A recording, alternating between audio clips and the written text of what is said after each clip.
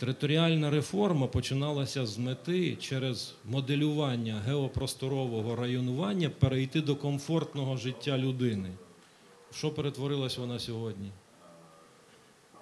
Реформа заради реформи. При такому підході вона не буде реалізована, навіть якщо на це потратити колосальні зусилля. Тому що все починається з правильної просторової організації. Немає правильної просторової організації, заради якоїсь мети не буде ні реформи охорони здоров'я, ні охорони, реформи охорони освіти, ні реформи соціальної політики, нічого не буде.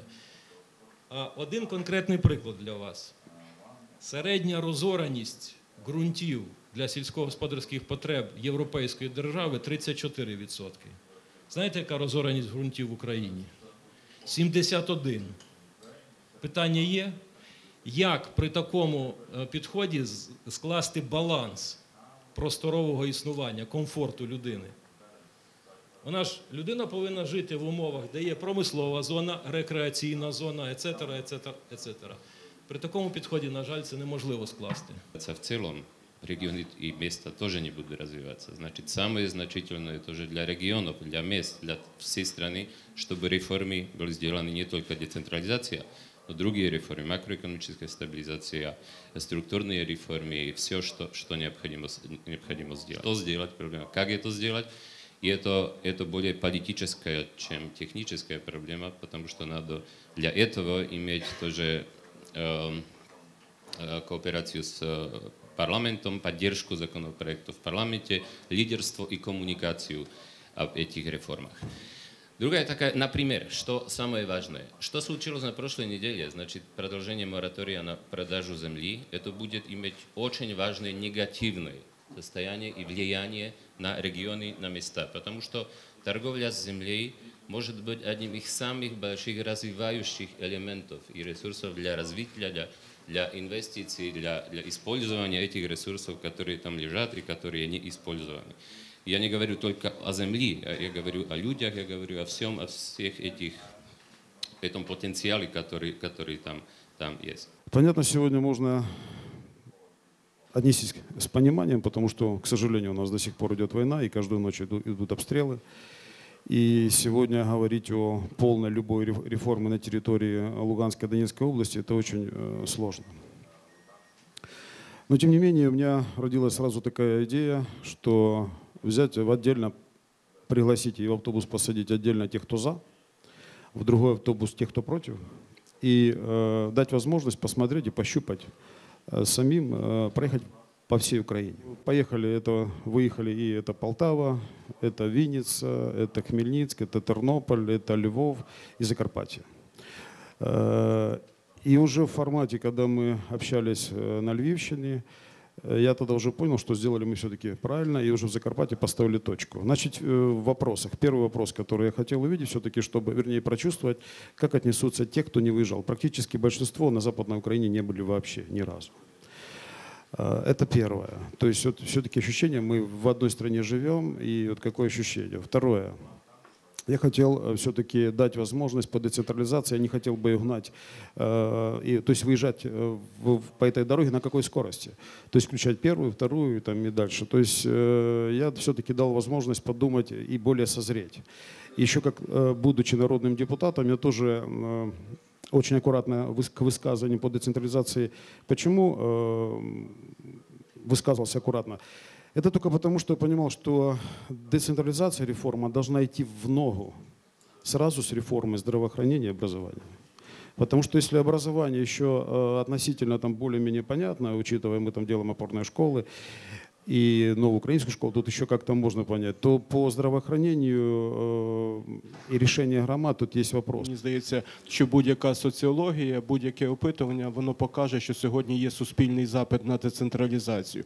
З одного боку, ми розуміємо, що це відповідь на таку концентрацію попереднім режимом всіх повноважень, і маятник, звичайно, хитається в іншу сторону. А з іншого боку, ми повинні розуміти, що сьогодні потенціал українського суспільства є настільки вагомий, що люди відчувають собі потребу через можливості, через владні повноваження отримати р- реалізацією своїх задумів. Чи є на сьогоднішній момент уже реальні результати і реальні кроки? От я по Львівщині можу навести просто цифри, які говорять за позитив тих процесів, які відбуваються. Місцеві бюджети за 9 місяців по відношенню до своїх планів отримали додатково мільярд 700 мільйонів. В чому є тоді сьогодні проблема і чому насправді точиться в країні дискусія? Мені здається, що вона пов'язана з двома речами. Перша річ це є ті сили, які сьогодні на превеликий жаль існують в Україні, які розуміють, що реалізувавши проект децентралізації і давши можливості громадам повноваження, і таким чином насправді зробивши достатньо швидким і успішним розвиток країни, ми назавжди відірвемося від пострадянського, навіть не від Росії. З Росією, мені здається, вже все зрозуміло. Від пострадянського мислення ми відірвемося, і це дуже багатьох людей, які хотіли би Україну не відпустити з пострадянського тоталітарного мислення, дуже непокоїть. І друга річ це місцеві політики. Я маю на місцеві е, не з точки зору їхнього географічного розташування, а з точки зору стереотипів мислення, тому що вони ще не піднялися на відповідний державний рівень. Вони сьогодні бачать, що є величезні диспропорції, яка дала недороблена до кінця Я думаю, що ми у майже у кожної політичної сили побачимо лозунги за децентралізацію. Якщо ж попросити експертів наших шановних проаналізувати ті законопроекти а, власне в сфері децентралізації, які на сьогоднішній день е, знаходяться в парламенті, і потім попросити проаналізувати, чи були ці законопроекти підтримані цими політичними силами, які, начебто, виступають за децентралізацію, то ми побачимо певну невідповідність.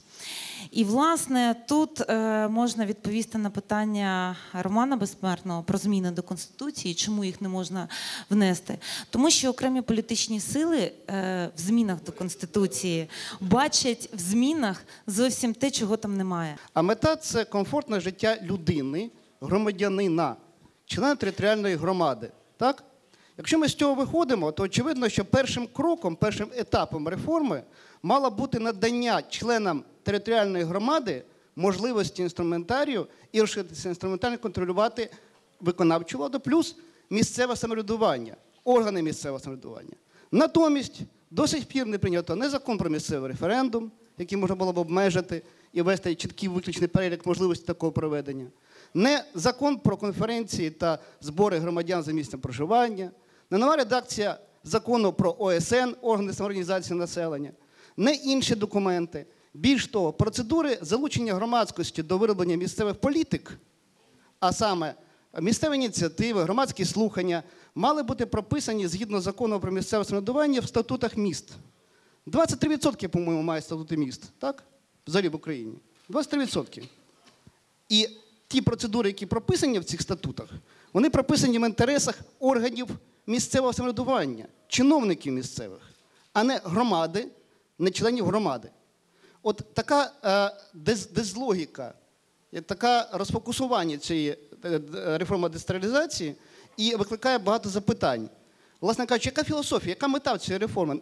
Для кого працює реформа? Реформа дійсно погоджує з паном Романом заради інституцій, органів місцевого самоврядування і чиновників, чи все ж таки для членів територіальної громади? Ми поки що маємо проблеми із Конституцією. Маємо. Але я зараз собі уявляю, отака ситуація. От прийняли Конституцію в минулому році. Полегшило б воно зараз ситуацію з тим же самим об'єднанням чи ні? Ні, тому що ламали би через коліно. І назад би був би бумеранг. Ця реформа має бути вистраждана. І десь на середину наступного року, коли для політиків стане нестерпне існування старої системи, от тоді вони проголосують. Зараз головне зафіксувати тих, хто проти. Тому що після півроку всі стануть чергу за медалями. Юрий, спасибо большое. Тому е, це позиція. Тепер референдум. Ви знаєте, коротко, є якщо можна. декілька країн, які використали механізм референдуму. Навіть європейських. І що? Референдум це пряма ознака неспроможності політичної еліти брати на себе відповідальність. Пряма ознака. Місцевий референдум це взагалі хаос. Є тільки одна країна в світі, яка має досвід місцевих референдум тільки по одній причині. вона між горами, вона на неї ніхто не збирається впливати іншими способами. Тому я ще раз кажу, система управління державою полягає в тому, що політики мають брати на себе політичну відповідальність.